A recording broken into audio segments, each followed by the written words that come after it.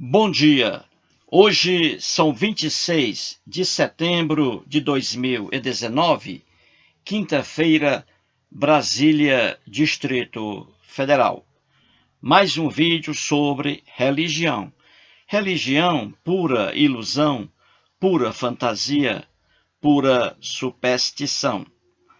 Ao longo desse vídeo, você verá imagens da rodoviária local aqui em Brasília, na parte superior. Rodoviária de Brasília. As imagens aí. Vamos ao vídeo. A Bíblia, como nós sabemos, a Bíblia está lotada de lendas, mitos, fábulas, contradições, discrepâncias, hipérboles, exageros, e erros das mais variadas espécies. Pelos comentários lançados em minha página no YouTube, tenho percebido que as pessoas adoram ver as contradições bíblicas. Então, nesse vídeo, mostrarei mais uma. Veja antes um caso real fora da Bíblia. Fora da Bíblia. A pergunta é a seguinte: Abre aspas. Quem mandou matar seus próprios pais, cujas ações foram praticadas pelos irmãos Daniel e Christian Cravinhos em São Paulo, no dia 31 de outubro de 2002. Quem mandou matar seus próprios pais? Quem pediu a ajuda dos irmãos Daniel e Christian Cravinhos para praticar o duplo homicídio. Quem foi? Se você que está assistindo a esse vídeo nesse momento fizer essa pergunta a qualquer pessoa que teve conhecimento desse duplo homicídio, com certeza você obterá a seguinte resposta: Suzanne von Richthofen a filha do casal barbaramente assassinado. Foi ela, a Suzanne von Richthofen, que mandou matar seus pais. Todas as pessoas dirão a mesma coisa, porque esse fato foi real, ocorrido em São Paulo. Infelizmente, quando se analisa a Bíblia, o resultado é diferente, porque não se trata de fato real.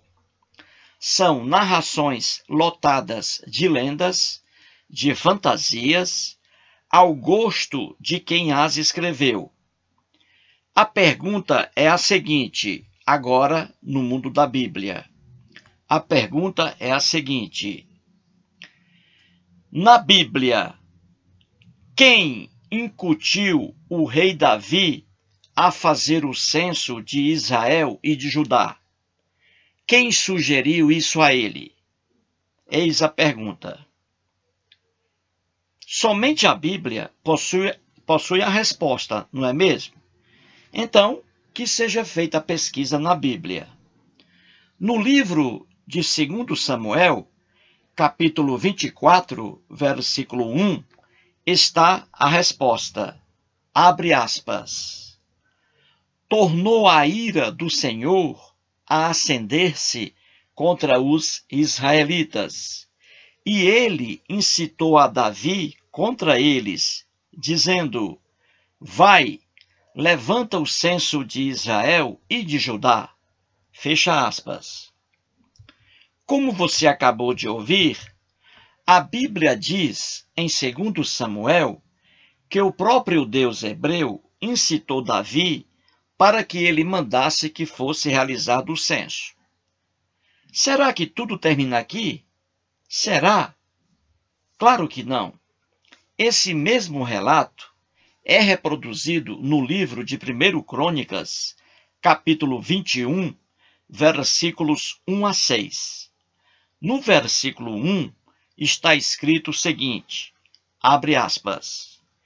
Então Satanás se levantou contra Israel e incitou a Davi a levantar o censo de Israel. Fecha aspas. Percebeu a contradição? Em 2 Samuel, é dito que o Deus hebreu incitou a Davi. Já em 1 Crônicas, é dito que foi o Satanás que incitou a Davi. Percebeu a diferença?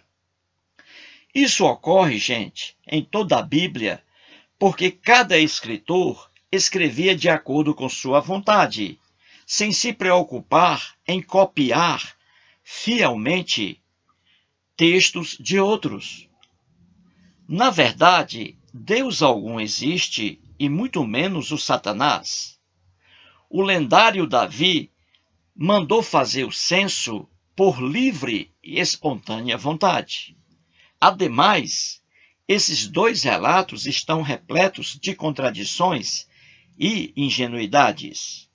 No próximo vídeo, voltarei a eles. Muito obrigado.